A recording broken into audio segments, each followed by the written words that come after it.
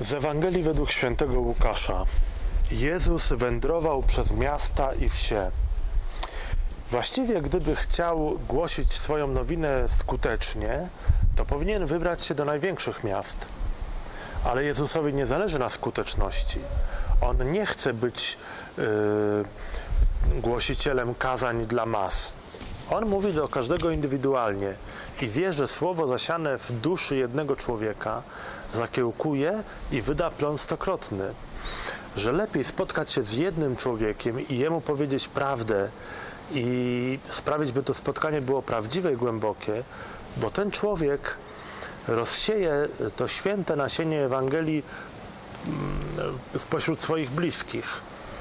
Spotkania masowe mają to do siebie, że y, dużo trudniej o prawdziwy dialog, o spojrzenie w oczy. I dlatego Jezus wybiera indywidualne rozmowy, y, nawet te nocne, nawet te, o których nikt nie powinien usłyszeć. Piękne. Po co mu masy, skoro on potrzebuje ludzi, każdego osobiście, każdego pojedynczo, każdego osobno. Do zobaczenia jutro.